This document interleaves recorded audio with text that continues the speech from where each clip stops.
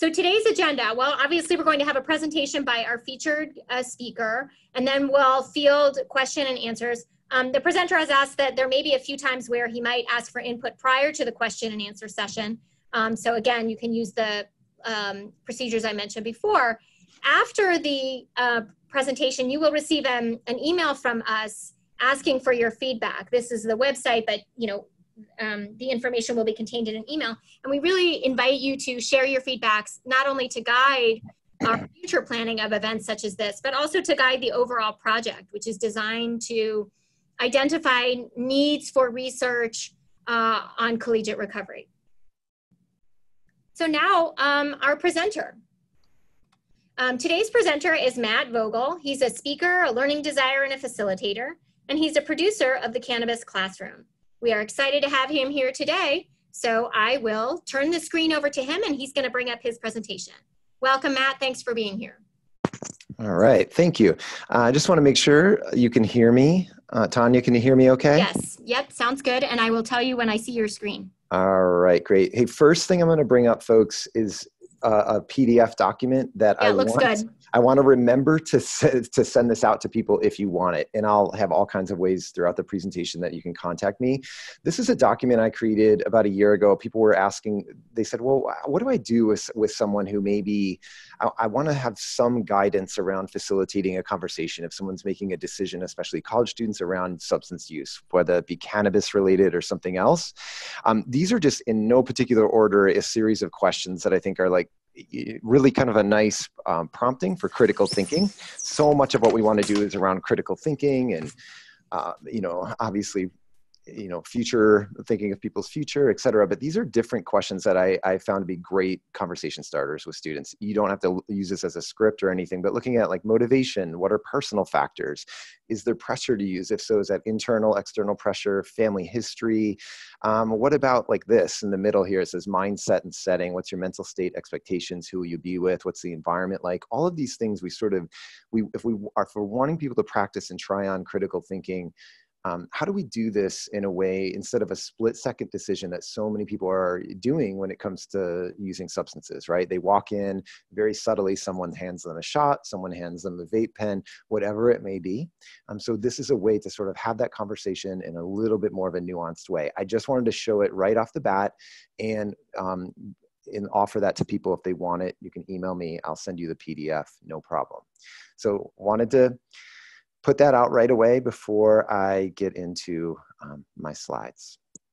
So I'm gonna move the toolbar just a little bit and okay, here we go. So I'm really excited to be with you all. I love talking about substance use. I love talking about cannabis. It's fun uh, topic for me to talk about. I, I, I worked full time full time in higher ed for about 16 years eh, in student affairs and teaching. So I had a student affairs job, did generalist health education, work at a few different, a couple different universities, and then taught also generally in the psychology department. I would teach the uh, drugs and behavior classes, um, sometimes a co-occurring disorders class I would teach in, for the master's in mental health counseling class, and I've taught drugs and society classes. So I, I, live in Southern Oregon, and I still have affiliations with Southern Oregon University, although I don't, I, I have so much contract work that I'm doing and independent work that I'm doing that I, I departed that my full-time role there, but I still teach as an adjunct. So I teach uh, drugs and society classes there uh, on an ongoing basis. So there's some of my contact information. I do have a website. I don't update, in full transparency, I don't update it as much as I should, but there's that. And then there's my email address if you wanted to reach out to me. Uh, that's a great way to connect with me. And I'll have that up at the end as well. So I want to get us started here. First thing is use that q&a box and if you just have a sentence maybe why did you decide to participate in the session today? You're all busy people. You have a lot going on and life is busy and I, but i'm really curious to hear a little bit of feedback from people of why they decided to participate in the session today. So feel free to, to use that q&a box to type something in um, and it's also a good chance for you to practice that and uh, make sure that the, the functioning of it is working so I will ask Tanya. Tanya, do you have anything that anyone's written in? Yes. Maybe um, you could tell us a few of them. We don't need to obviously read them all, but it'd be great to hear a couple of them. Sure. One participant said, I'm glad cannabis is becoming more widely discussed. Great. The person said, I love learning more about substances that my peers are using. The more educated I am, the better I can serve my community. Great. Um, and I, wait, there's one more comment. Um, another person said, because cannabis is such a commonly used substance here, and some students have really bad experiences with it while others have healthier use. So that's why they joined. Got it. There's Good. more, hold on. Uh, we wanted to know about the real issues with cannabis. Mhm. We're seeing more of an issue of cannabis use on our campus, looking for innovative new ways we can address this. We're it. working on updating our campus cannabis harm reduction approaches. Great. It often feels as though the culture on this campus revolves heavily around cannabis use.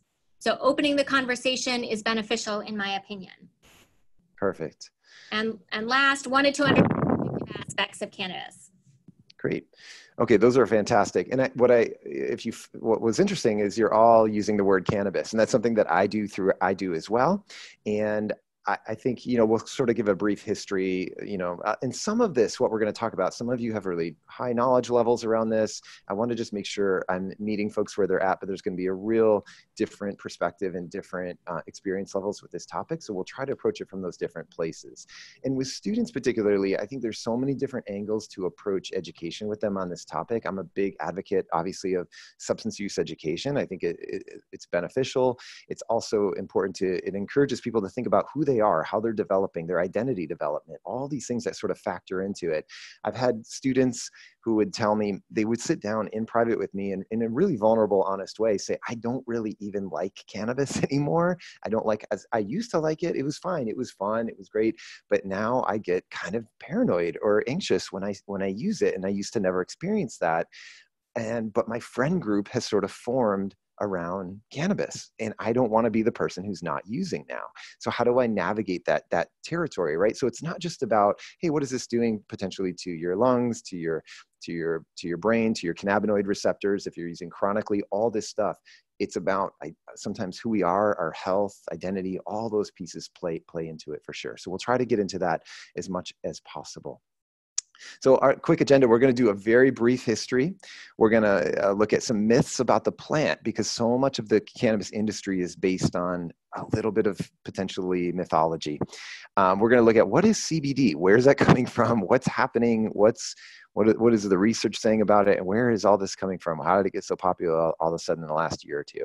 We're going to focus on concentrates and edibles. And I have a video that I produced that I will maybe show if we have time. It's about six minutes long.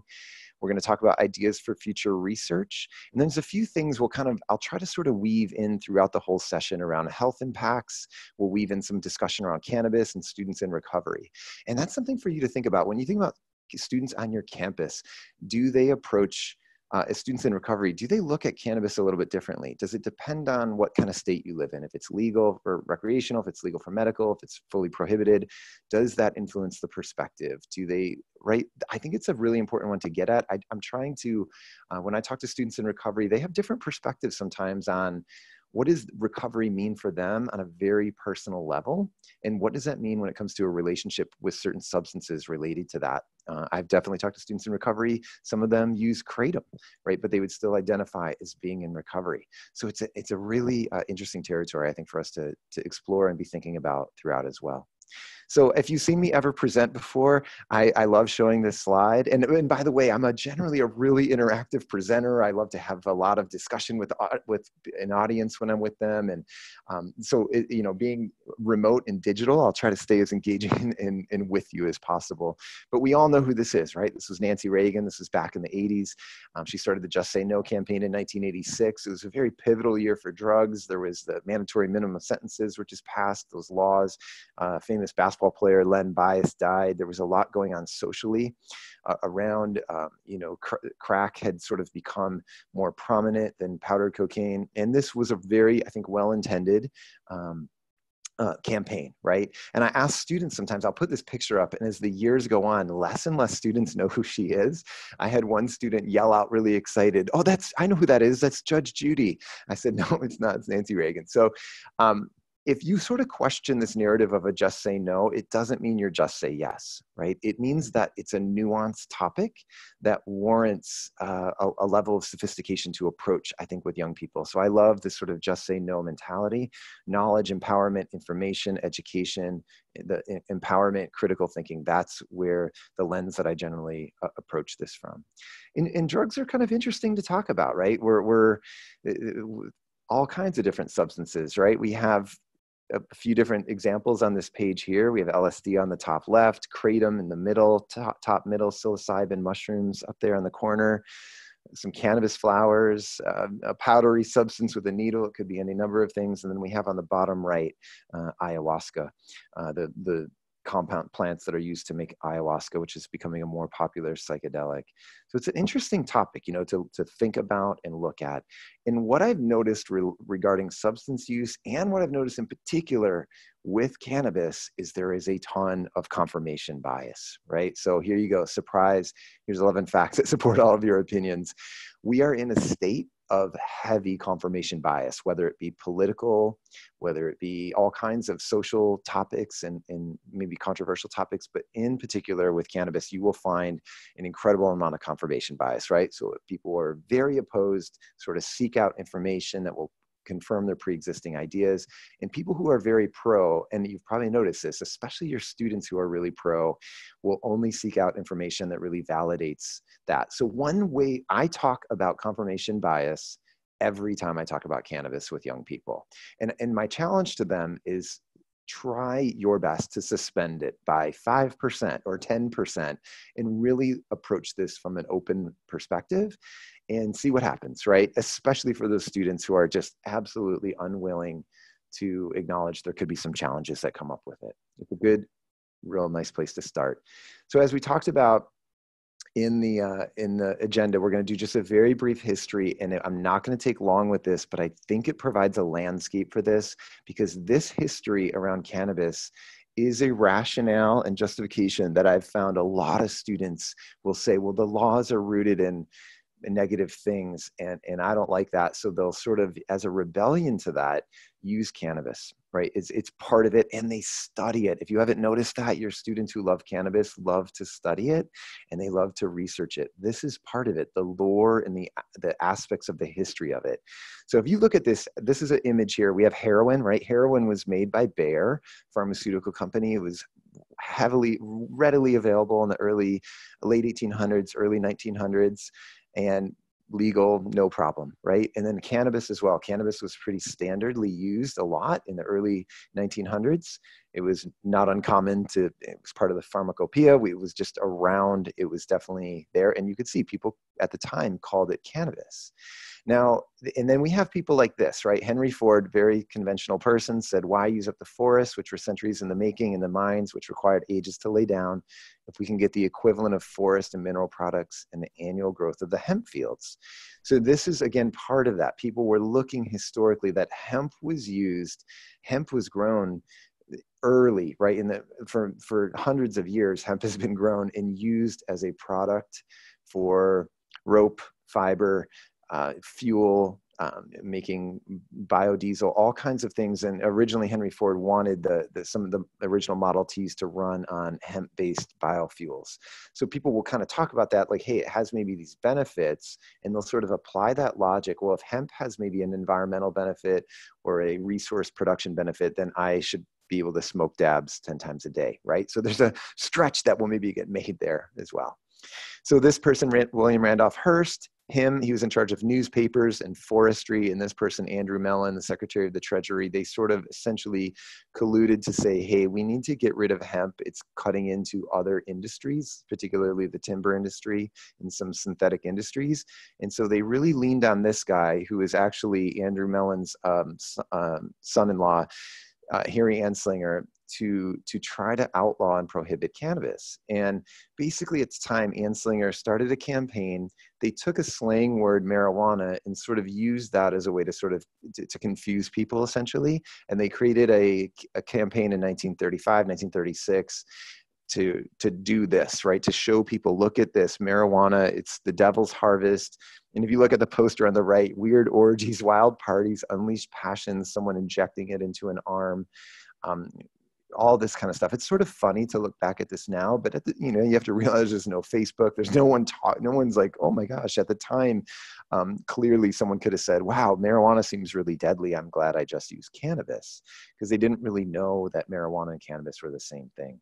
So this essentially led to this, and this is a you can read this quote. I don't really enjoy reading this quote, so I'm not going to. But Harry Anslinger, this was testimony he created uh, in the US Congress to support the Marijuana Tax Act of 1937. So it was drawing on racial stereotypes, it was drawing on these anxieties around white women and mu- satanic music and all these things, right? That were, it was, it was so a lot of times, again, p- young people now, 2019, will look at some of this history, they study it and say, that is so bad and therefore, again, rationalizing current day use. So let's acknowledge this. I think as professionals, looking at that and saying, okay, there's been a, there was a weird history with this. Let's look at it from a sociological, criminology, psychological lens and say, yeah, th- this is the history of that ha- is pretty bizarre.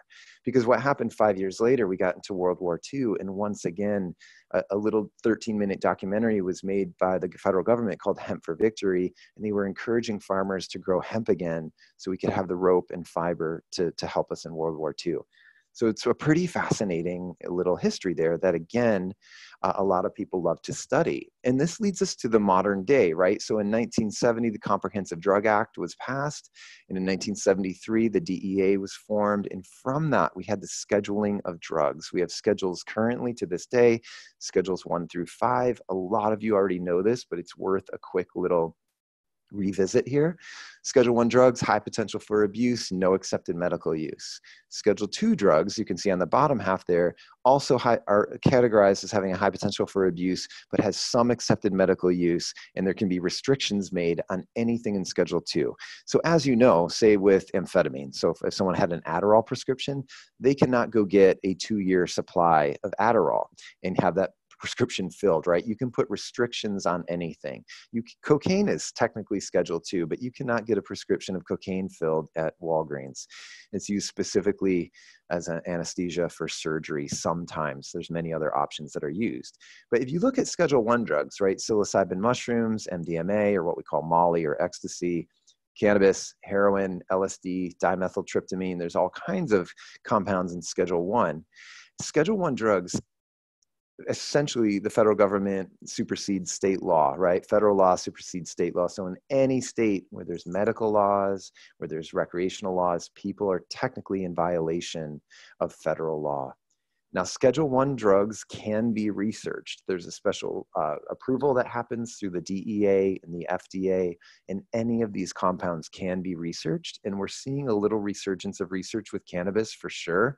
And starting in a, the, um, about 15 years ago, there's been a pretty big resurgence of research of psychedelics. So some of you might have heard some of this. There's been studies done at Johns Hopkins Medical School, Harvard, UCLA Medical School, the um, University of Wisconsin. There's an independent study done on MDMA looking at MDMA and post traumatic stress disorder, and the outcomes were actually really positive. But here's the challenge with this I did a talk at the NASPA Strategies Conference in 2012 about the resurgence of psychedelics. I'm just going to take one minute with this, don't worry my my take on it is that it's important to have a sense and understanding of that because students now read these headlines. The stuff around psychedelic research is in very pop culture magazines news outlets. So uh, people are reading that right and saying well i had a little bit of trauma. Maybe i'll take mdma at a party this weekend. And they don't necessarily know what the research protocol is that it's very very strict that in that original MDMA study, it was a five year study, and people took MDMA on average about three times total in a five year period. So having a sense and understanding of that, and especially now that Michael Pollan wrote a book this last year about psychedelics, and Michael Pollan is a very famous author who mostly writes about food and food systems and sustainable agriculture, but he wrote a book around psychedelics, and it really got a lot more people having an awareness around this.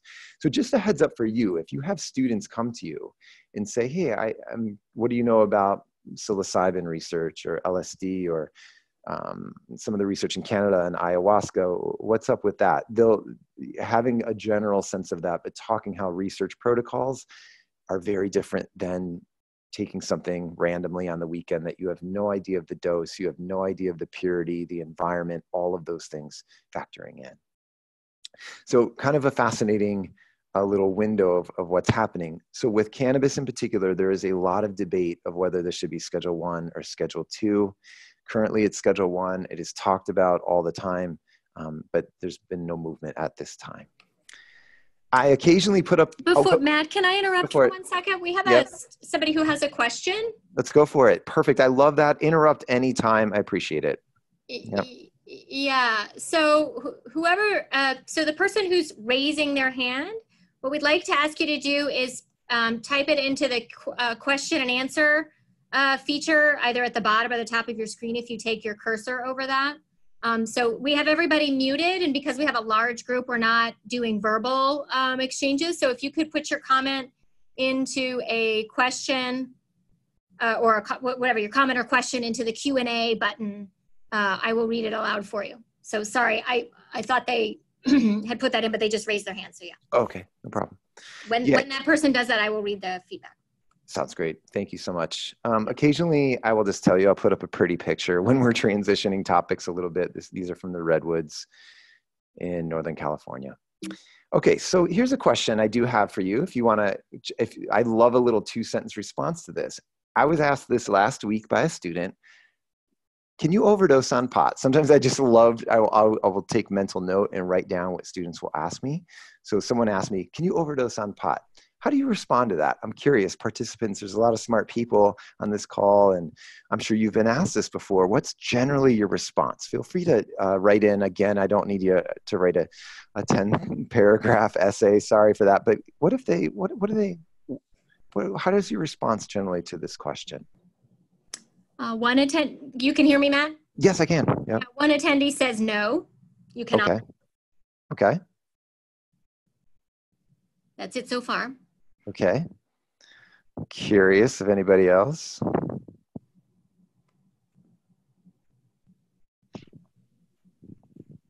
Got a um, yes? another person said yes, you can. Okay, I see. And we... another person said um, there hasn't been there haven't been any reported overdoses. Okay. We have another. I, I saw that one, and I because I okay. just opened the chat in the Q and A, and I see a no there. Yeah. Interesting. Okay. Okay, so let's, I'm going to kind of pull on this thread here from one of the participants just said, you can probably have a really bad time with too much, but as far as a deadly overdose, I'm not so sure. Okay, so this is a great, this is a great, let's stop there with it if we could. And um, so I'll, I'll kind of ask back the question, describe to me what an overdose is. Because if we're framing it strictly from overdose causes death, um, we don't necessarily see that. There are there have been some cases right where the activities someone engages in. So if someone has uh, again a large amount of an edible concentrate or even flower and maybe uh, have an accident of some kind, then that's right. Th- that's an affiliated uh, issue, right? But looking at from a pure pharmacological, does it cause respiratory depression like some other substances would, heroin, alcohol, benzos, etc. We don't see that, right? But then if we reframe overdose and think of it in terms of can there be a psychological reaction that is overwhelming right? That could be uncomfortable that can be an exacerbating event that can lead to more maybe intense anxiety then we we certainly can see that right? So it's asking st- students will sometimes ask these questions you know just to kind of like bait you a little bit or kind of see where you're at personally kind of to test the waters. Um, but I think this is a good one that comes up. So it's, re- I think for me, I've, I've had good luck in sort of reframing that and talking about do we, def- how do we define, if we're only defining overdose based on um, fatality, let's, let's look at it maybe from other ways that we could have too much and maybe some challenges with it. Okay, so we'll we'll move on from there. I want to just talk about the plant a little bit, if we could. And I think again, a lot of you maybe know this, but I, I'm I'm not sure, so I want to make sure we go there. So these this is a these are this is an image of a the colas or the flowers of a female cannabis plant. The male plant does not can does not contain flowers. Uh, when we zoom in a little bit of, on these, when they're getting mature, you can see these kind of crystally structures as we get closer in on that flower.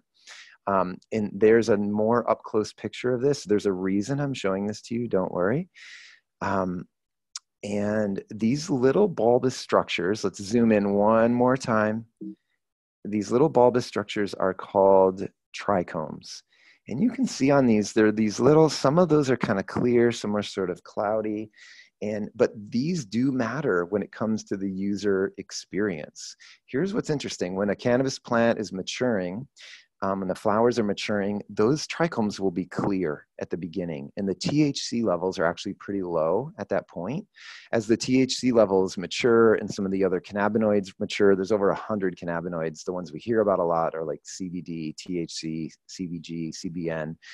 Um, but as the plant matures, the THC levels start to increase. So when the, when the trichomes are at kind of a cloudy color, and you can see some of them are kind of cloudy, the THC levels are at sort of their peak. And what's not shown in this picture is if the THC levels, if, if the if the plant continues to grow and is not being harvested, the trichomes will, will turn an amber color. And at that point, the THC has actually started to degrade, and another cannabinoid, CBN, is starting to increase, which is actually a byproduct of the degradation of THC. So here's what's interesting CBN is known to be a pretty sedating cannabinoid. So any regardless of the strain of the plant or the name of the plant or if it's a sativa or indica you could have two plants grown side by side same soil same strain same water everything you harvest one plant when the trichomes are cloudy you have to go out of town on an emergency and come back a month later and you harvest the next plant even though they were grown in the exact same conditions, based on the harvest time, they can have a very different outcome for the user. Right. So sometimes that's not really talked about. So when we go into a store, right, and we say, oh, that's the strain that I want, I read online that that strain is good for X, Y, or Z. It may not necessarily be the case because it depends when that plant was harvested. So it makes this it makes it even more complicated to say, well, cannabis causes this, this strain does this. We're not sure about that. It might be a little bit of mythology. And then as we get as we when the flower is trimmed and cured and harvested and all of that, right? It, it, it looks like this. So someone's smoking pot, smoking bud, they're smoking this trimmed flower the cannabis plant. And from that, we can use a little bit of the trim or the sugar leaves or the actual bud. We can make other products out of it, right? So you can make oil or butter and make edibles, which we'll get into, and concentrates, which we'll get into as well. So these concentrated products are, are a pretty different um, thing and they look like this. And when I go back here, these flowers here, uh, in you know, in the 70s, the THC level was really low on average. You could find some high THC products, but on average, it was really low, one to two percent. Currently, it tests out on average about 15 to 20 percent, and these products here can test out anywhere from about 60 to 90 or even above percent now THC. So we've sort of created a new and different um, product. It's, it's an interesting one. And when we isolate cannabinoids, there's a whole other question of what is the outcome of that. So moving on from there, uh, let's talk about cannabinoids for a minute. These are some of the major ones, and you'll see sometimes these charts. See on the left, it gives a condition, and then it shows which cannabinoids are associated with this. Now, a really good friend of mine, he's an author on cannabis. He's a researcher. He works in the labs. He's a consultant. He gets flown around the world him and I had a really honest conversation about this. He's kind of neutral on cannabis, honestly. He said, when you see a chart like this, a lot of times it's not based on a clinical trial, but based on maybe a tail suspension test with mice or a swim test with mice. Uh, a lot of sort of assumptions are made around it and, and that a lot of these have not necessarily shaken out in, in the data. It doesn't mean they couldn't in the future but to sort of have this this narrative that this thing like cbd you can see the second one in there it's associated right with all of these things according to this chart. Now i was looking harvard has a good page on cbd cbd about what is actually cbd all about is there benefit?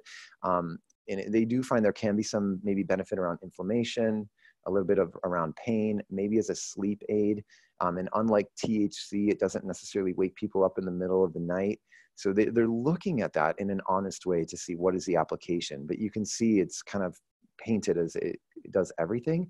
But cannabinoids do matter. The cannabinoid profile of a flower matters. So the percent of the CBD versus the percent of the THC, that is found to be relevant for the outcome on the user, obviously in terms of how intoxicated they get, mental health outcomes, etc. Um, this is something else you're going to hear more about coming up in the future around cannabis is terpenes.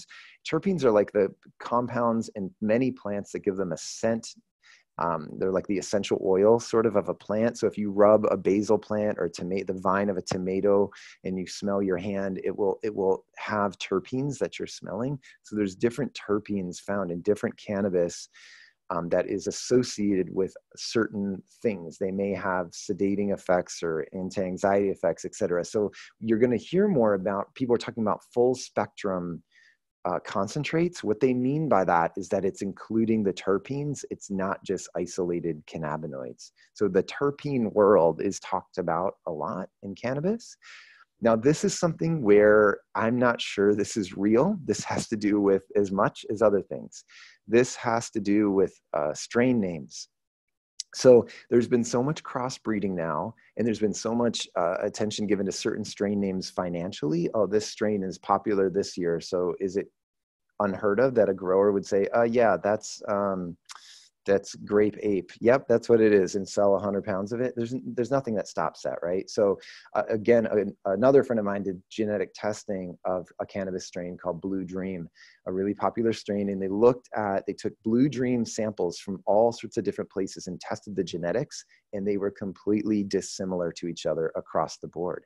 So it, it raised this question well which one is the true blue dream right? Now if you're going online looking up on a website saying well this strain does this the, you, we have to dial that back and say does it really? Are you sure? When was it harvested? What's the terpene profile? Uh, what what's the genetics of that? Are, are, you, are we sure? And so there's this push to sort of standardize some of this stuff but a lot of times in the industry um, there, there's confusion but we're, we're sort of sold strain names as, as a all or nothing and then this other piece of it, sativa and indica. How many of you, uh, well, you don't, you could raise your hand if you want to on this one, but how many of you have heard something like this, that sativas are uplifting, stimulating, energizing, best suited for day use, right? They're a little more heady. You'll hear about indicas being more calm, relaxing, kind of um, couch lock feeling, right? They're more at night, they're more for pain, etc. So these these distinctions we've made between sativa and indica are actually in sort of more people who are studying this plant in a more sophisticated way are saying that is actually we don't even know if that's real anymore. We were it's maybe placebo plays more into that than anything. So it's kind of fascinating um, that this is coming up now. But again, we, so we have to think critically. Uh, there we go. I, I love that. Someone chatted in. I've heard indica is in the couch. yes, exactly. That's sort of a thing that you'll hear related to, to indicas. So these are the things when it comes to a user experience. Cannabinoids, terpenes, and trichomes, when it was harvested, are thought to be sort of valid into the user experience. But the strain names and then the indica sativa distinction is found not to be and a little bit questionable. Again, a couple friends of mine who study this, we've been talking about this for years. And um, so it was interesting that a document, a little documentary finally talked about this publicly. But again, a lot of the industry is sort of based on strain names and then the indica sativa distinction. This is a great quote, right? There are biochemically distinct strains of cannabis, but the sativa indica distinction is commonly applied in the lay literature is total nonsense and an exercise in futility. One cannot in any way currently guess the biochemical content of a given cannabis plant based on its height, branching, or leaf morphology. And then in terms of genetics, right, the genetic identity of a marijuana strain cannot be re reliably inferred by its name or by its reported ancestry. So it's sort of a fascinating um, fascinating place to say. Um, to, to look at that. Now there is a there is something on Netflix. There's a series on Netflix called Explained, and I think they have a current one they just redid maybe a month ago on the brain. It's pretty. I, have seen maybe two of the five on the brain, um, but this one on Explained, they were. It was just a series, maybe 20 episodes. They're all about 20, 25 minutes long on random things like the game cricket. I actually watched that one and still was incredibly confused. Um, there was all kinds of things, but one of them is just called weed and in that explained little documentary, it talks about this thing around the plant and sort of maybe this mythology around strain names and indica sativa distinction. So well worth the watch. Um, I, I, mean, I, I don't know. I think it's where I found this to be interesting is when students come in real, especially real confident and their knowledge base around like the history and plants and strains if you can have this little bit of nuanced conversation with them and say there's a there's some lack of clarity actually around that um, it get it gets it leads into a good conversation around the placebo effect. What is placebo? What is our beliefs around things? How does that show up? And look at the data on placebo. Harvard has a great placebo placebo study center if you wanted to look at that more um, to look at different research and studies that have been done. It's fascinating. I, am totally fascinated by the mind body connection, placebo, but letting them wrestle with this a little bit of, hey, what if some of this isn't really true? And what, what how do we how do we really then safely apply? What does that mean? What is how, how do we think about that then when it comes to a harm reduction message when there's so much confusion around the plants? So let's drill down. Hopefully, you're still hanging with me and okay. Let's drill down into one cannabinoid called CBD or cannabidiol. Why has this gotten so popular? What is the deal with it? What is happening? So, CBD, um, and this starts, let's talk about it from this place. These are images of a what we would call tr- a traditional hemp field. You can see hemp when it's grown, the, these hemp plants are grown for fiber and to make products like shirt, you can make clothing, right you can harvest the seeds and use them as a food. Um, i actually eat hemp seeds quite a bit. The the cut hemp seeds they have a lot of uh, health benefit to them but you can get them in the grocery store etc but this is what it looks like. You can see it kind of grows like corn right? It's it's these large plants on the upper left. These are old historic pictures of hemp. On the right you can see a more modern picture of hemp and you can see it being harvested with heavy machinery and it's tall. It's this humongous plant right that looks like that and it's grown that way. But now we've had and it looks unlike this. This is an outdoor where i live in southern oregon. There are plenty of plants that grow like this. I live in a climate where cannabis grows incredibly well outdoors. I've been up close and personal uh, with plants like this. A friend of mine grew four he has a large backyard. He grew four of these plants in his backyard which is legal to do um, and and they some of them are very big, and you see them all over uh, when you're just walking your dog in the neighborhood or taking a drive in the countryside. You see a lot of grows, outdoor grows. So you can see these look very different. They're huge outdoor plants grown as for medical or rec purposes. But there's something new that's kind of in the middle and this is what it looks like. These are, this is, there's um, about 10,000 acres in production my counter and so again, these are what are being called hemp plants now. But you can see they look different than this. But why are they still called hemp? Well, anything that falls, any um, cannabis flowers that have under 0.37% THC can be categorized as hemp and that falls under the farm bill. It's under the jurisdiction of the farm bill. That may be changing. There's some talk of changing that legislation but as of now that stands that was passed in 2014 and in an update in 2018 so these plants right here you can see as they start to grow they sort of look like that. They get a little bit bigger, but they're not that massive outdoor looking plant, but they're certainly not looking like corn. And you'll see a lot of signs like this around these, these grows. It says, do not remove the plants. This is industrial hemp. There's no THC. So this sort of movement to try to ask, you know, on these huge multi-acre, 50 acre, 100 acre swaths where you can't really have fencing up everywhere people are putting this up to let people know this is does not have THC. Please don't steal these plants when the flowers are are mature. So the flowers are are used on these plants. You can see here's a, a, field. This is these are a little bit more mature. You can see they have a flower on flowers on them now. These are grown specifically for CBD. So these plants are con- they're, they're considered hemp, but they are grown and processed for the CBD. So when you see CBD in infused oils, lotions, um, in food as a supplement, tinctures, etc., it's it's mostly coming from these types of plants that are grown specifically for that with very very low levels of um, THC. So this is the the last one I would show you. This is one. This is about three miles from my house. I was driving one of my daughters. She's on the rowing team, so I was driving her out to the lake with, and, and we so we go by this field. We were going by this field, you know, every day in the fall. Now it's been harvested, but I um, got on. I, I pulled over, got uh, on top of the hood of the car so I could get a better angle and took a picture of it. So you can see this is sort of what it looks like. Now, when we go back to this picture, you can see these this plastic is laid down. So this is a very controversial part of it. They lay down this this plastic for weed suppression and to retain water um, and it heats up the soil as well. But it's generally one-time use plastic, so there's an environmental cost to growing this because that plastic gets torn up and it ends up in a landfill. And you, you apply that to thousands of acres, there's an environmental impact that that has. And um, so people are trying to figure out and resolve that. How do we do this? Can we do it without all the mulching? Right? It, let's let's really talk about that when we're thinking about environmental sustainability and water usage and all of it. That's a part of it.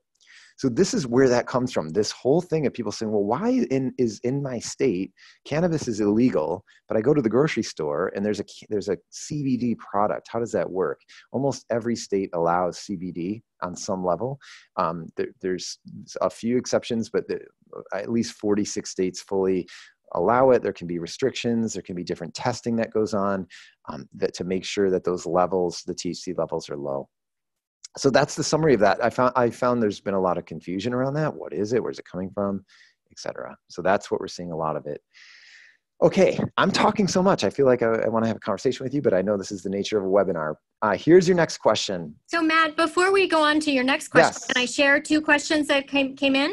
Hundred percent. Go for it. Okay, so um, all right, so one person had two questions. Uh, isn't it safe to say that the history of cannabis is very racist and violent for people of color? And then they acknowledge to take this back a few slides. Mm-hmm. And the person also asked, um, how exactly should we answer the question of can you overdose on pot? Know you had stated that you would rephrase the question by asking, what does overdose mean? But could you explain how you would fully answer the question? Yeah, that's that's essentially. I'll let you answer that, and then there's one more question. Great. That's essentially what I do. I, re, I reframe it and ask them how to define overdoses. If we're just looking at fatality by death in terms of looking at fatality in terms of uh, respiratory depression, we don't see that. There has been cases, some recent cases where some people who are immune suppressed, and if and especially if they have contaminated concentrated products, there can be issues that go on in their lungs, and they they die from that. We've seen some of that, but from a pure kind of pharmacological perspective, cannabis flowers often we, generally do not see that. There can be anomalies or allergic reactions people can say but then i do reframe it and say but let's think about overdose in terms of a psychological perspective. And when we think about exacerbating events psychologically that can be a, a triggering event for future anxiety um, what have you that an intense cannabis experience can serve as that for people uh, an intense car accident can serve as that. Uh, an intense alcohol experience can serve as an exacerbating event. But a really strong cannabis experience for many people will report, hey, I had way too much of an edible. It was really challenging for me and, and it led to me having a, some more anxiety that was coming up for me. So um, Right, and, and and someone commented, but then any traumatic event could be considered an overdose. I'm not necessarily saying that. I'm talking about it in terms of a, an exacerbating event, not necessarily related to overdose. So, can you have too much, and can it be um, then in that in that way? Right, we're we're we're sort of talking about it like psychologically, can you overdose? Right, and and related to cannabis, but yes, a similar type of situation could arise from something else. Now, back to the question on race. Um, yes, for sure. I think it's very safe to say that that there are a lot of drug policy, even policy around opium and cocaine, uh, cannabis. When you look at the history of it, there's a lot of roots in in racism around that. So it's an important thing to address. So if we're taking kind of a holistic approach and looking at cannabis, looking at drugs in general, looking at history of that, looking at it from a social justice lens, from a from a sociological lens, from a pharmacological, psych, physiological, and health and wellness perspective, yes, I think it's an important thing to acknowledge in a well-rounded discussion. So, um, question: um, A person asked, "So are CBD plants different, or just harvested at a different time?" Yes, they are actually different. The, the, a lot of them are are bred uh, in a way that they have very low levels of. They have almost no t- trace amounts of THC in them. So that there's been this has been it, it, they kind of there was a hybrid. It was essentially a hybrid that came from traditional hemp plants, and and um, but grew them in a way in a hybridized way to keep on downgrading the THC levels to the point where it almost doesn't exist in the plants. So they are actually different plants. Here's the challenge though it's kind of a little bit of a Wild West industry right now. So you've had people who have gotten seeds and they plant them and then they they grow they put in all the work and effort and everything and then they harvest them and the THC levels are like at 8% or something like that. So they were not necessarily bred correctly on that level. So they are bred in a different way for sure. And what I the other thing I want to add to the hemp conversation, there's been four um, farmers, at least documented in Oregon, who have committed suicide, um, hemp farmers, because there we we didn't have a great year necessarily weather-wise, and they're they're looking at crop failure. There was more moisture in the fall, which leads to a lot of mold in the flowers, and and I think there's a um, it gets interesting when there's a lot of money involved and a lot of money invested with this is a very unfortunate part of that that people felt such pressure around this. And i and i've heard, heard i don't have them confirmed but i've heard of more even in in other states as well so it's it's a fast there's all these little things that are, are approaching it. You know it's easy we just see cbd on the shelf and go oh, okay there's cbd but again um, looking at what is the medical application of that? What are contraindications? Let's do more and more research that's important. Okay so are we we're good to move on? I think this is a, a question that i sometimes we don't have to chime in on this one if you don't want to but a lot of times students will want to talk about this. If you had to, how would you define adult responsible use of cannabis? We sort of have a framework around this for alcohol. We talk about blood alcohol concentration, we talk about BAC, uh, you know, the biphasic effects of alcohol and 0.06 and drinking water and staying hydrated and all these different things that we talk about related to it if someone is around or choosing to consume alcohol.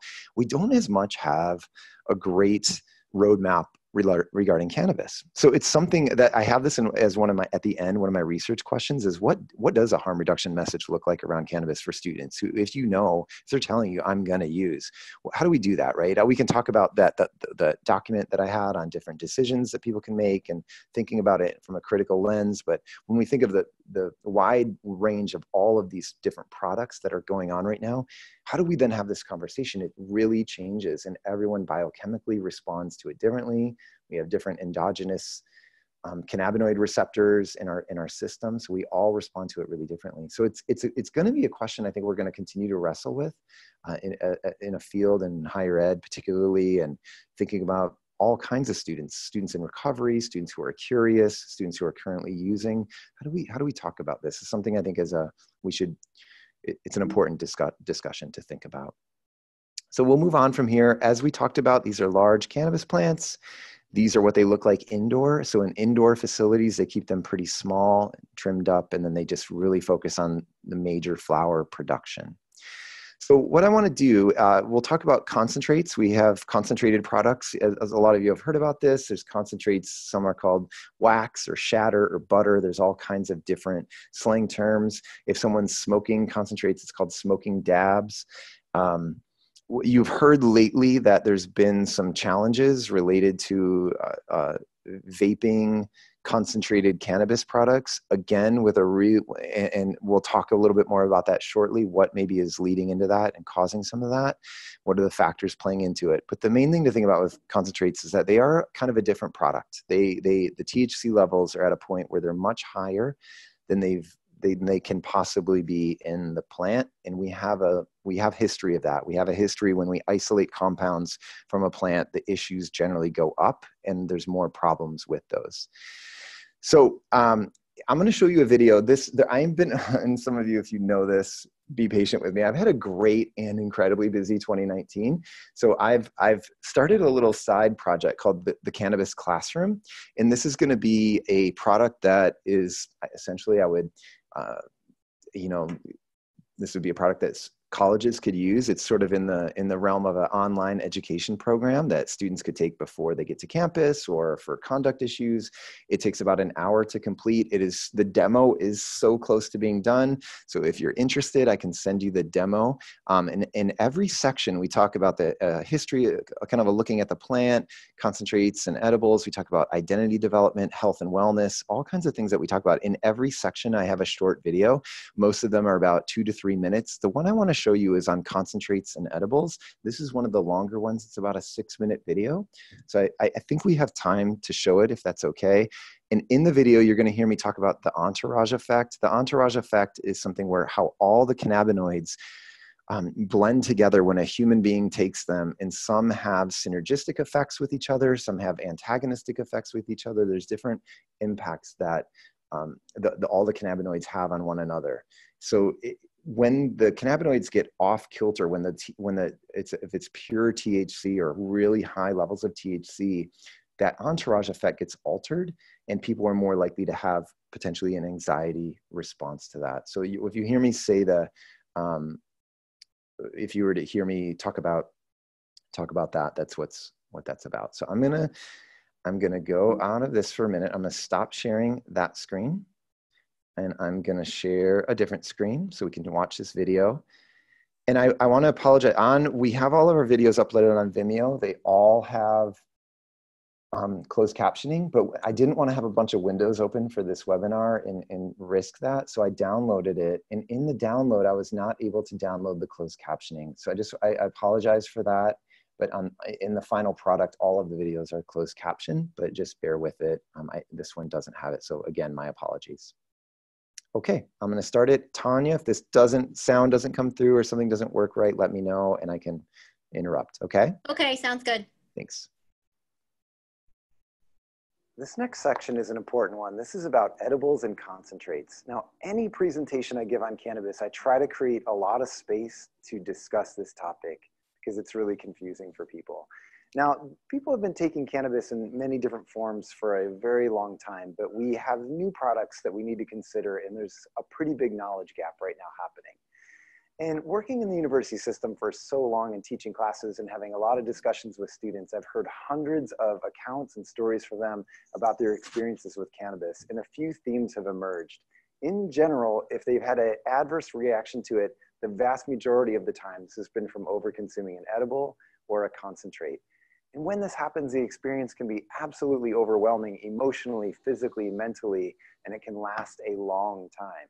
So, what is going on here? Why are these experiences so varied? Let's take a look. As we've discussed, cannabis flowers contain a mix of cannabinoids, with THC being the one that's psychoactive. Now, THC levels have changed and altered over time in the US, but they are currently testing out on average about 15 to 20%. This is significantly higher than it was 30 years ago. Now you contrast that with some of the concentrates right now, and some of those are testing out between 60 and 90% THC. And we've discussed the entourage effect, how this whole mix of cannabinoids and terpenes mix together and work together to alter the absorption and assimilation of cannabis in the human body. A concentrated product really alters that entourage effect and creates more variability and maybe challenge for the user. An additional thing to consider is that a lot of concentrates that are not made in a certified lab may contain contaminants. And concentrates are not new. We've seen this throughout history. Let's look at a couple examples. One is the coca plant. The leaves of the coca plant are chewed and they have the stimulation of maybe a double shot latte. But if you extract cocaine hydrochloride from the plant and isolate it, now it is much stronger, 100 times stronger. Another example is opium. Opium contains two alkaloids in it. One is codeine and one is morphine. Morphine is stronger than codeine. It binds with great affinity to the opioid receptors, and it is significantly stronger than when found in the plant. Another one is khat. From khat, you have a compound called cathinone. Now, in its natural form, khat is often chewed like tobacco. It's used in parts of northeastern Africa and in the Middle East and it has some cultural significance there as well. But when you isolate cathinone from it, again, it is much stronger, almost similar to cocaine. Now let's go back to cannabis.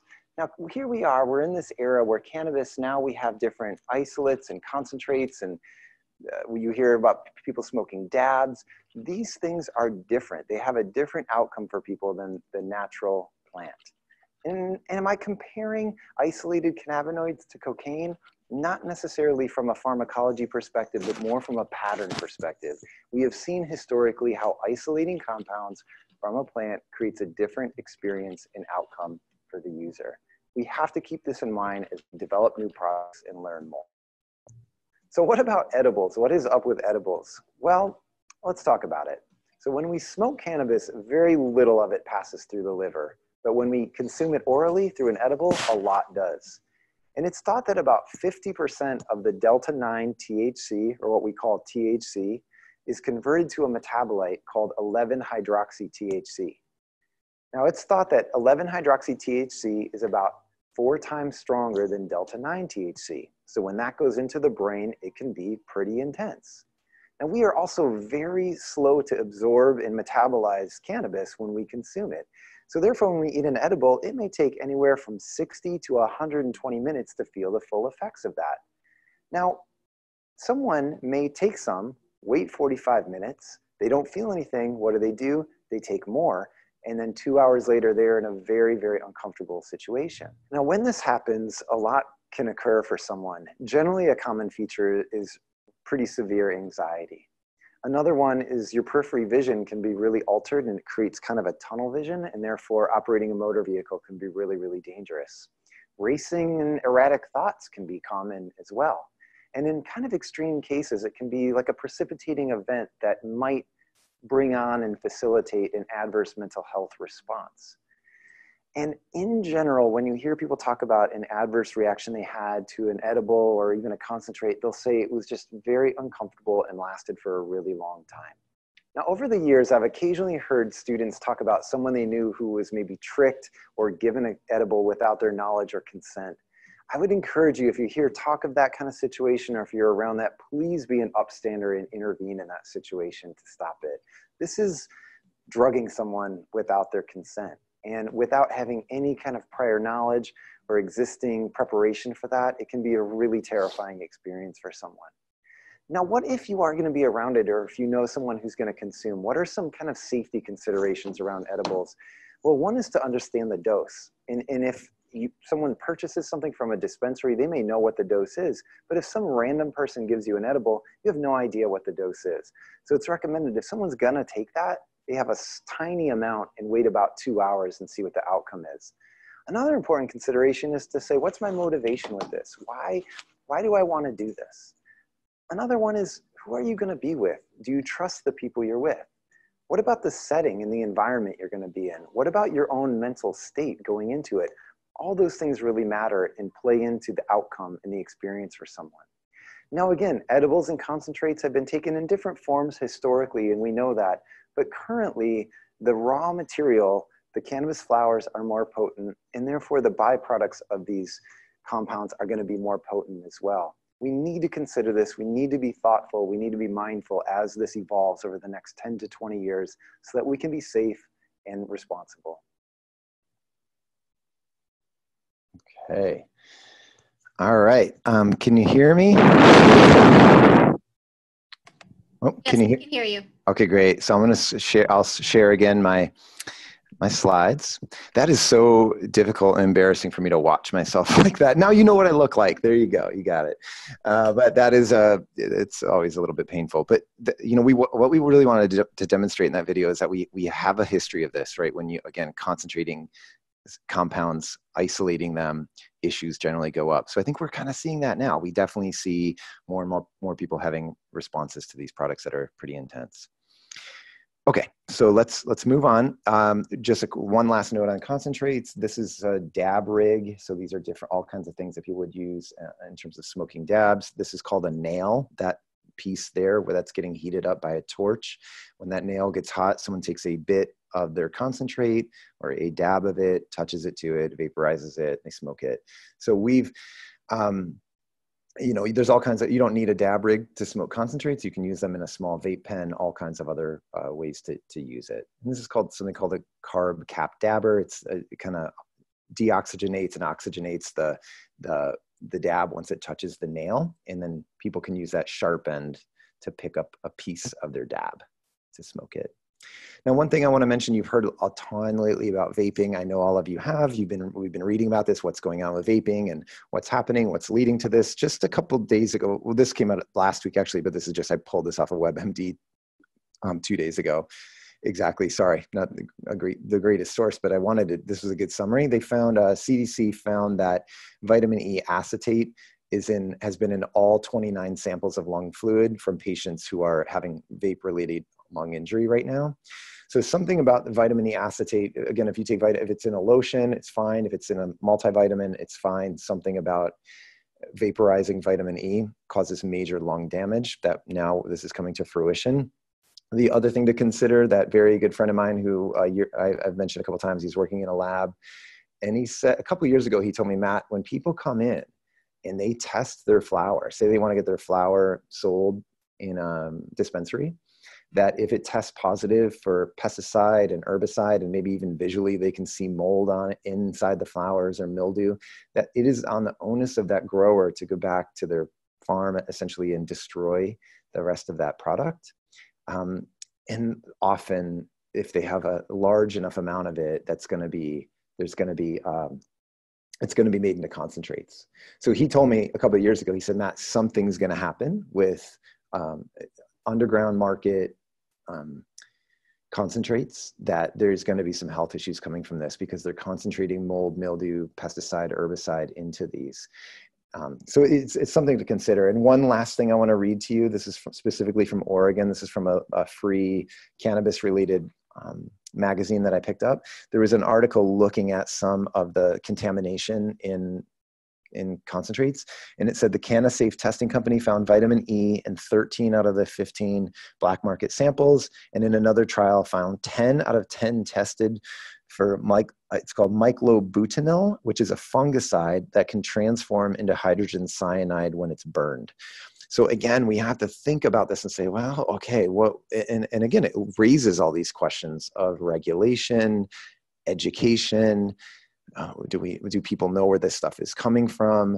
Uh, you know if, if under on the underground market there's you know contaminated uh, concentrates and they're just going to random dorm rooms. Do people have any idea what they're doing what they're taking? So again the, the education on this i think needs to be really strong and good good conversation about what is maybe potentially leading to it and then the last thing around this is around uh, edibles. I already mentioned uh, in the video, you saw the thing around edibles, and a lot of it gets converted to 11 hydroxy THC. It's a metabolite. In Oregon, at least, this symbol, this red symbol, has to be on any edible product that is sold um, legally.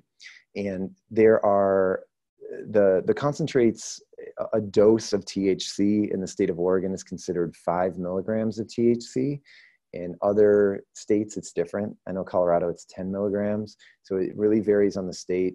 But concentrates, again, the biggest education message I give people is on the slow metabolism and slow absorption of this when we take it orally. And then it can take a couple hours to feel the full effects of that. So again, this harm reduction message of some people eat an edible, they don't feel anything in 30 minutes, so they take more, and then they have a really, really adverse response to it, very uncomfortable response. And it, and many, many, I, I, interviewed a lot of students who have had an adverse reaction to cannabis, and many said it uh, it was an edible and it lasted 12, 15 hours.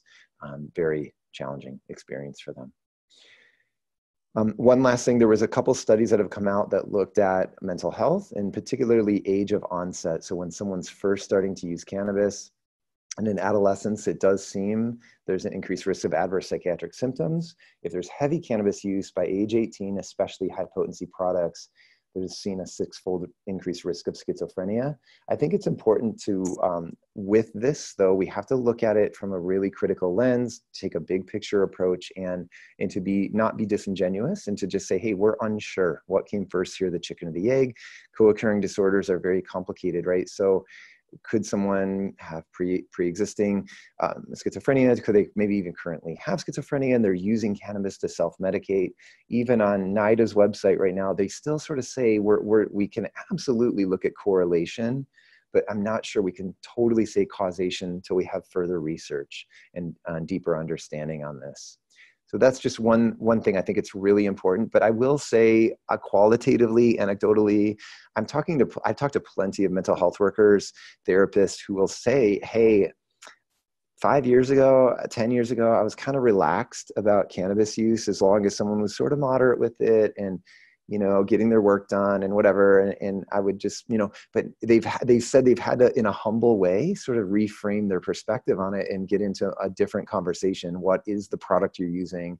Quantity frequency concentrates all that stuff. And they've they, they a lot at least have reported to me they've seen more challenges that people are having around it. Again considerations for sure. Okay so here's a beautiful picture. Um, and Great, we've got some questions. Yeah, let's do it during during. So you can look at a pretty picture during the questions. This is in Northern California in the Trinity Alps. Highly recommend hiking there. anyway, okay. So the first question is, what is the impact of cannabis use in males with near puberty onset? Yeah. Okay. So there's some. There was a study. I know there's a study done in Pakistan on this, and they found that again, it was sort of based on quantity used, but they looked at. They found there was uh, potential issues on even growth differences.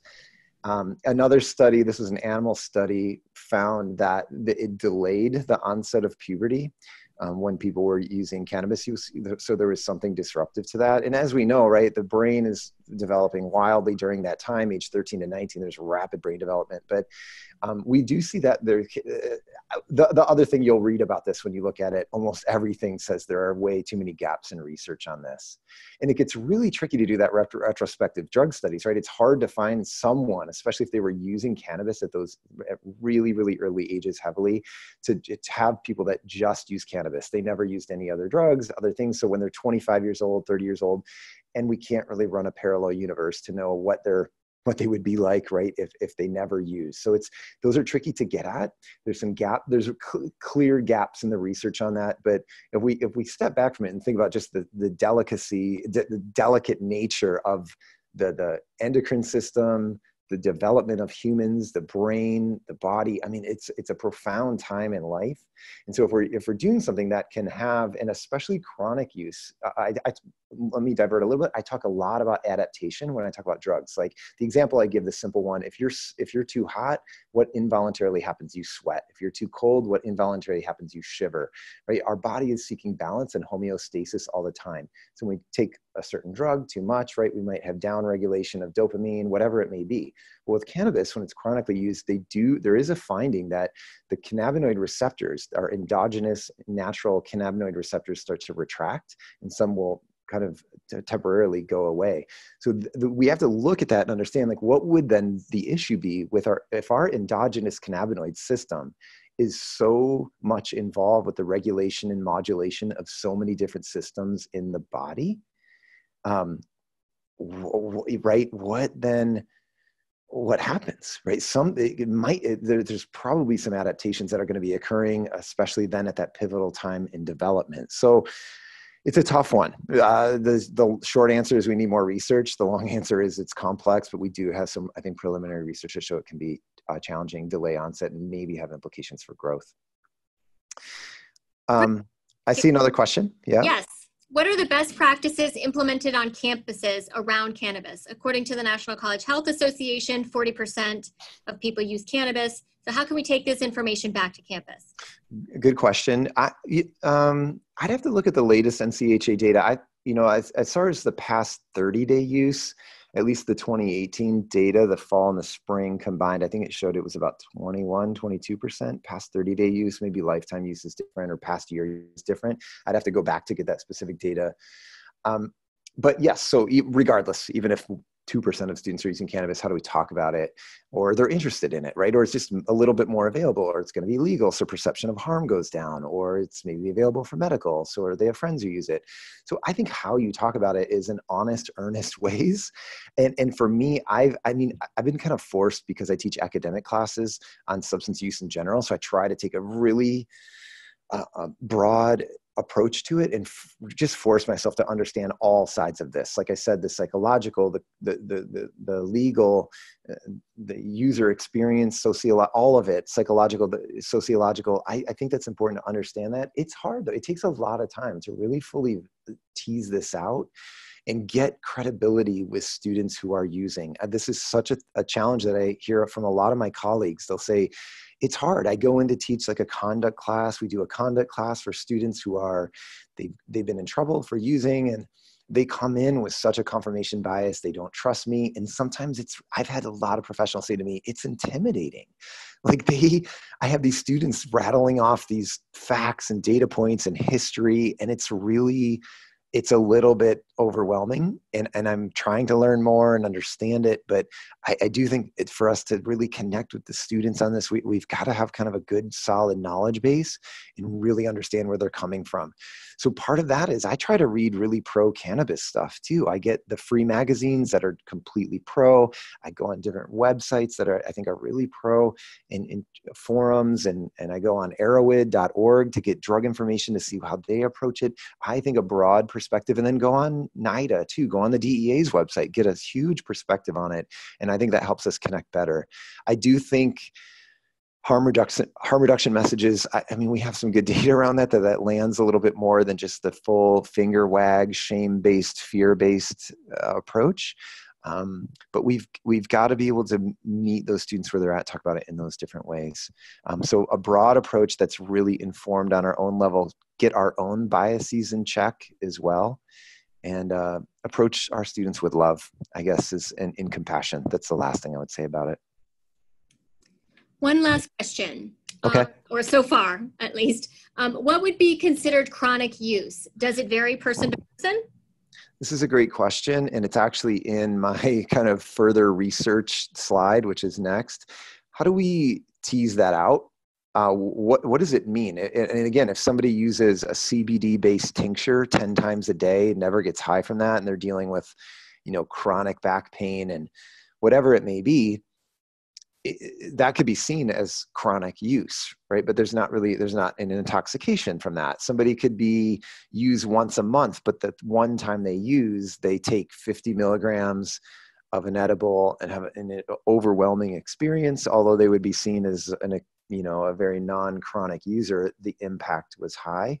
This is something i, I don't know if i have a great answer for that. It, it, that any of us really do chronic versus moderate use. How do we get into that? Um, and so okay so i see the follow-up referring to smoking flower mostly. Okay so even again now I, I don't you think i'm avoiding here but there's even with that it's different. If, if someone's taking one hit in the in the evenings like some people may have a glass of wine that might feel kind of different than like i'm getting i'm smoking as much as possible eh, whenever i can. I think we can equate that though to like drinking to get drunk is different than having a glass of wine with dinner. So if we think about are you a harm reduction message could be what is how are you using this? What's the motivation? And how are you using it in a way to get as as high and intoxicated as possible? Or what's the what's the purpose of it? Why do you do this? I think that's one way to approach it. Um, but again it, it gets really tricky. Do we say to someone well once a week or twice a week but only taking two hits right? That i i don't know. I don't know that we quite have that dialed in yet Great question, though. Um, so I'm kind of leaving that one hanging a little bit. I'd love to hear from others what their perspective is on it. Okay, I'm going to leave this beautiful picture. One last glance. There we go. So the questions for research, and then we can just have the last bit of time for Q and A. I, I really think that is one of them: moderate versus chronic use. What would a, a, a harm reduction harm reduction message, if at all, look like? What does that look like? Uh, does it? How does it resonate? How does it show up in Missouri versus California? Does it look different based on law? Uh, how do we get into that? Even, you know, we know that students want to be able to talk about things in a realistic, honest way, but where do we find this balance between moderate and chronic use without getting into, you know, nanograms per milliliter of blood and getting super technical, but thinking about it from their perspective on a user perspective? I think that's a great area of research to approach. I think this one too medical application of specific cannabinoids. Are there benefits? What's the risk? Are they useful in isolation? That's the thing I think we have to really understand. Some cannabinoids in isolation without other cannabinoids involved may not be beneficial? What if they have to have other cannabinoids as a sort of assimilation to the body? They work in a synergistic way. We, we, we were, there's a big gap in understanding that in looking at it in a straightforward way. I think we had a great start in 2017 when the National Academy of Sciences document came out, this 400 page summary looking at as much cannabis research as we have to this day.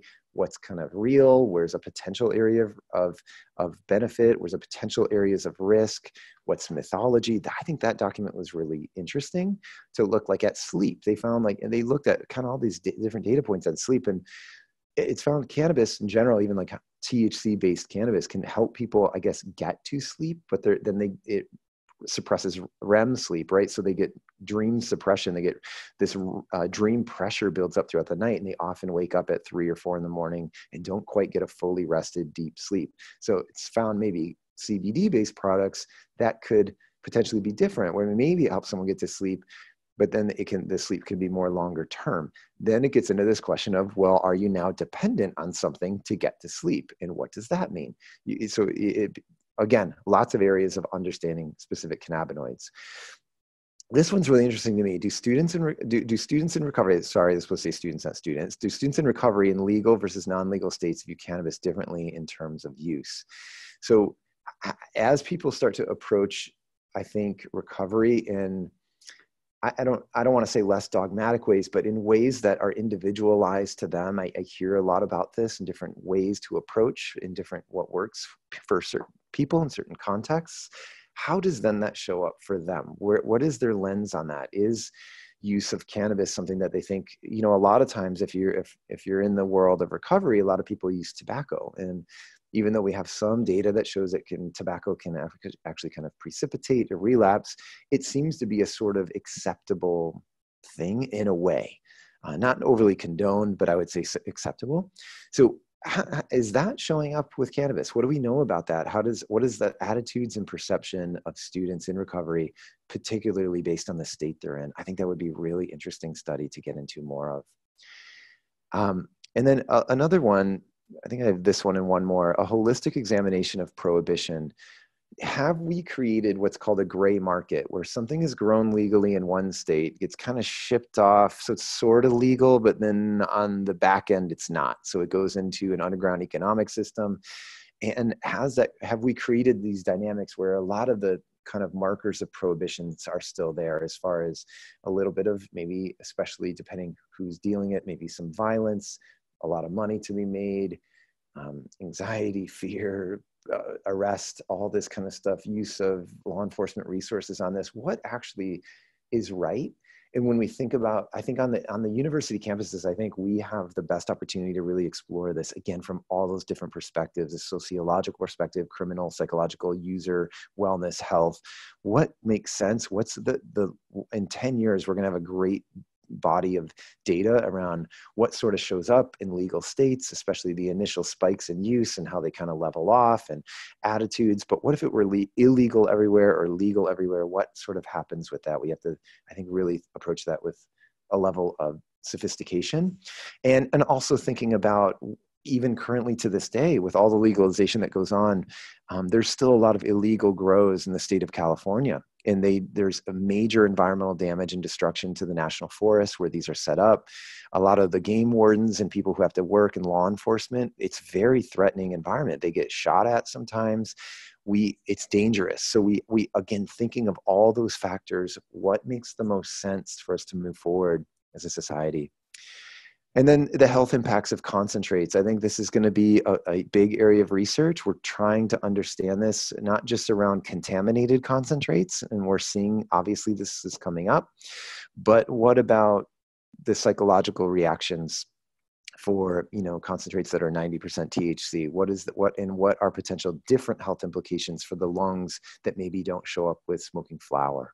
So I think those are some of the major areas that I think we're, we're going to need to, to move forward with in, in a rational, honest um, way. Okay, so that's kind of a um, good st uh, stopping point. I have one last slide with just my contact information, but we do have some time for some questions or comments from people. If, if you just have a thought or perspective to share, that's, that's fine too. and hopefully you learned something uh, in this in this webinar today as well. I, that's my goal. Sometimes hope it meets a lot of different audiences. So Matt, I encourage you to put up your last slide while people are um, formulating any comments or questions they want to share. Great, sounds good and if you contact me, you go to my website. I'm not, I, I hate the self promotional part of things, but for about the last 10 years, I do go to campuses, other colleges, high schools, um, community groups. I do a lot of presenting to students and different, whether it's student athletes or Greek affiliated students or just the general student body, staff trainings. I love talking about this. So if you're ever interested in that kind of thing, bringing someone to campus, I have plenty of resources, plenty of places I've been. Um, and that's all I'll say about that. I don't want to get overly self promotional, but feel you know, feel free to reach out to me. If you want that handout that I showed at the beginning on the conversation piece, feel free to email me. I'll send you the PDF tonight.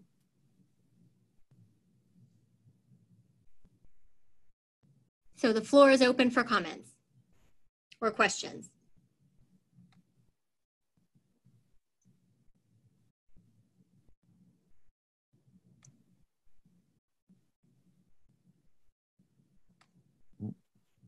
Hey, Tanya. Oh, Yeah. okay. You stopped my share. Got it. Okay. Yeah. Okay. Great.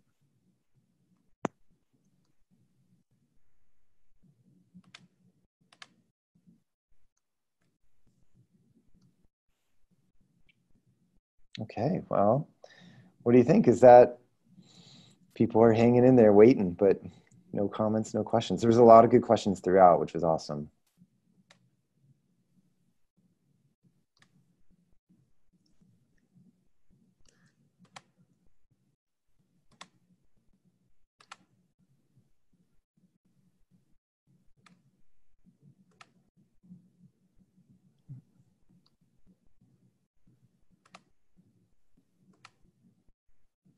Anybody, anybody? Oh, I see one. Have there been conversations on the intersections of the use of cannabis and mental health challenges individuals face? I, I think this is a big one. I mean, I know um, with most of the mental health workers on the, the campuses I've gone to in my own campus, we, we talk about this quite a bit. Definitely. What are the what are the intersections? How are people using it? And again, I know there's there was some at University of Washington. They were really trying to understand this and look at okay, what if a what if a student actually self-reports that a, a their cannabis is helping with their anxiety but then help if they actually get off of it and they can get through the kind of week long withdrawals of poor sleep and agitation all that stuff that they actually are kind of finding once it's cleared out of their system that they feel actually maybe less anxiety but they're still they're sort of using this as a way to to manage and deal with anxiety so i think we're going to have to understand that more as we continue to see anxiety um, rising, then people are using it to as a form to deal with anxiety. But again, certain strains and products may actually be exacerbating anxiety. So I think again, more area of research on that, but it's a big topic that I, I am talking about with a lot of people. You see the other question there? Um, oh, sorry, it's a comment. Oh yeah, just comment. Oh, you're welcome. I'm glad you enjoyed the webinar. other comments or questions? We've got we've got time. And it looks like, Tanya, do you have, you have a closing slide? I do, right here. Okay. And uh, yeah, okay, so in the absence, so first of all, we, as you can see on this slide here, um, there are resources that we encourage you to check out uh, if you need them or anyone you know might need them. On the left-hand side of the screen, you can see where, again, you can get the recording. And then lastly, we have additional webinars and podcasts. So the very next one coming up is January 27th. And that one will specifically look at how do you integrate collegiate recovery services with other campus services. So for example, you know, services specifically for college students in recovery um, that might include, say, recovery meetings, but also what about housing for students in recovery? Um, and then we have uh, another uh, event that will be specifically about interventions for uh, college students in recovery and after both of those, um, we'll have podcasts to complement the webinars. And the podcasts really are just sort of a what does this look like in terms of lived experience, where students in recovery have conversations uh, with each other and with practitioners uh, about their experiences on those topics. So um, if no one has any other final comments or questions, let me take the opportunity to thank our speaker for his excellent presentation. um, and thank all of you for attending. And we look forward to having you be involved in additional events. And again, please look forward to our um, evaluation email, and we invite you to give your feedback to guide us for future events. Thank you so much for being a part of the Voice in Collegiate Recovery Project. I'm Tanya Nieri at the University of California, Riverside. Have a good day. Thanks, everyone.